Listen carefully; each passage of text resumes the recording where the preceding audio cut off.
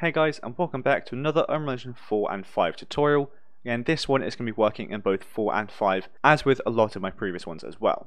So what we're going to be going over today is something nice, quick and simple and that is importing uassets into Unreal Engine.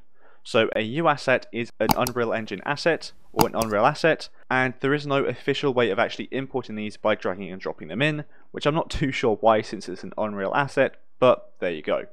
So what I want to do is I want to take this grenade BP and put it into my other project. Now, the best way to do that would just be to, to right click and migrate it, undo asset actions, migrate, but let's say you can't do that for whatever reason, it's not working, or you don't want to do that, or most commonly for you, it's not actually within a project already, you just have the uasset that you may have been sent. So what we're doing is going to be importing it. So what you want to do is open up the folder where you want to take the uasset from. So for me, that's going to be the root folder of this project, go into content, and then you'll notice I now have all of these .uassets here. Again, it doesn't have to be from a project, just take it from where you want. So what I'm doing is getting the, I believe it was just called grenade BP, and now this obviously will probably mess up a little bit because I'm not taking everything over with it, but I'm just showing you how to import uassets. So what you want to do is copy it, so hit Control C or go to show more options and copy. So you want to copy the asset and now you want to go into the folder which you want to import it in in your project.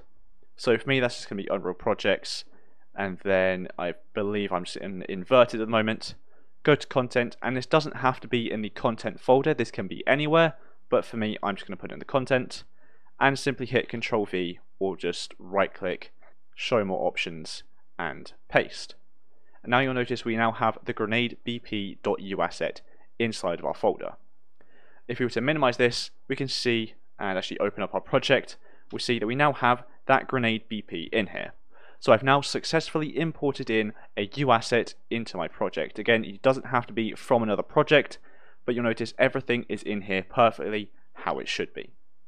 So that's a very easy way of how you can import .uassets into your Engine project you will simply copy and paste it into the actual folder of your project instead of dragging and dropping it into the project itself. So I hope that all makes sense. So thanks so much for watching this video. I hope you enjoyed it and I hope you found it helpful. And if you did, make sure to like and subscribe down below.